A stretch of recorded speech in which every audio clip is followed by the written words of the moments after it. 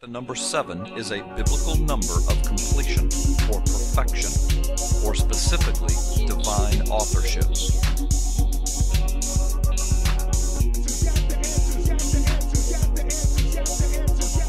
Scientific unknowables of the very first verse in the Bible. In the beginning, God created the heavens and the earth. In the very first verse of the Bible, we find a remarkable piece of evidence of supernatural authorship. In the beginning, time, God created the heavens, space, and the earth, matter. The Bible speaks of the creation of time, space, and matter in the very first verse. For thousands of years, scientists and philosophers had speculated about the basic components or makeup of the universe.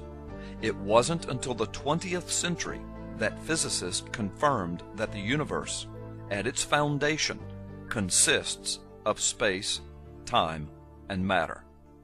In fact, space and time are so tightly linked that astrophysicists now speak of a space-time continuum.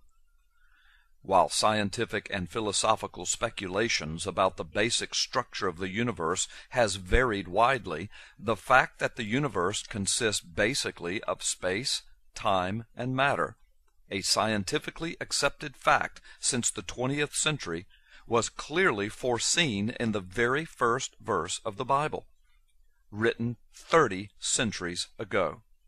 How could the writer of Genesis and the first verse of the Bible have known of this scientific truth that would not be confirmed until over 2,000 years later. But also, in the very first verse of the Bible, we find yet another astounding piece of evidence of supernatural or divine authorship. First, consider this. It is an undeniable fact that the number seven is a biblical number of completion or perfection or specifically divine authorship. Over 500 times in the Bible, the number seven is used to show the touch of God or divinity upon something. This begins with the seven first days of creation, and the seventh being declared by God as holy. When we look at the natural world around us, we discover that there are amazing arrays of sevens. There are seven continents, seven oceans in the world. There are seven colors in a rainbow. There are seven notes on a musical scale. There are seven stars in the Big Dipper, and this heavenly sign has been used to point to the North Star or the guiding star since the most ancient of times. Seven objects in our solar system are visible to the naked eye. Seven digits in a row has been proven over and over to be the average limit of memory for most human beings. Thus, we have only seven digits in our phone numbers. There are seven metals of antiquity upon which civilization was based. The periodic table of elements consists of seven distinct levels.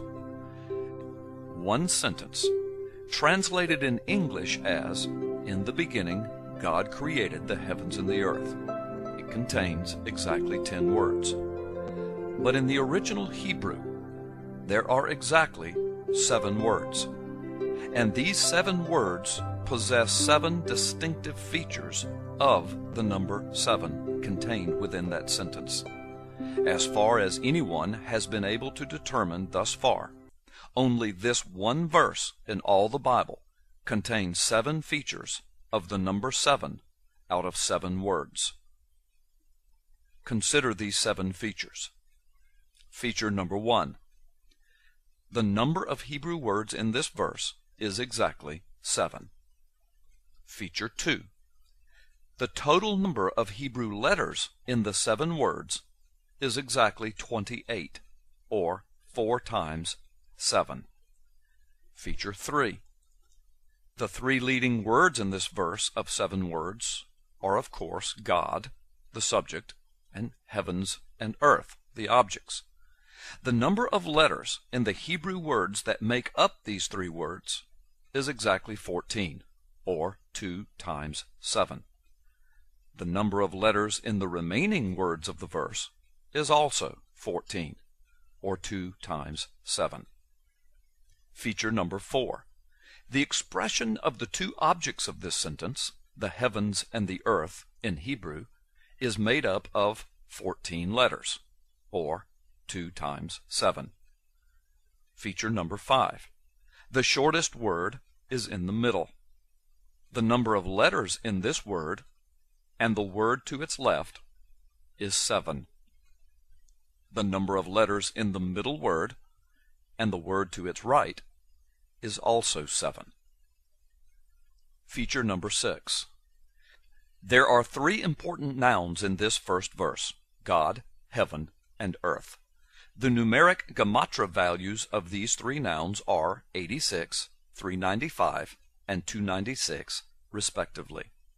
Gematria is the 3,000 year old Hebrew rabbinical practice of assigning numerical values to each of the Hebrew letters.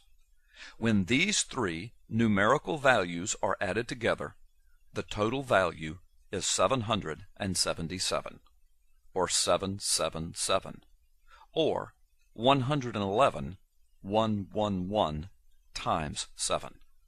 In God's manner of biblical expression, this triple intensification of his perfect number 7 is the strongest possible manner of speaking the touch of his divinity.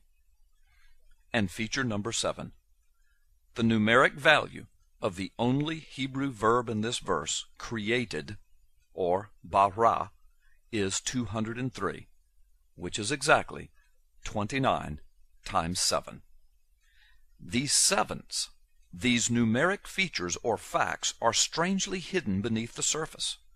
They are truly beyond the view of ordinary readers of the Hebrew text, and they are discovered only by special investigation and counting. Surely they could not have been foreseen or purposely placed there by the original author. According to the law of chances, for any one feature of a seven word sentence to be a multiple of seven accidentally is only one chance in seven. But for seven features of this one seven word sentence to be a multiple of seven accidentally is one chance in 823,543. An exponentially amazing impossibility, especially considering that the number seven is used purposely by the biblical writers over 500 times from Genesis to Revelation to indicate the divine touch of God. It is as though God is telling those who have eyes to see in the very first verse that His divine touch is upon this word we call the Bible. This startling revelation of sevens has only been discovered in the last few years of human history.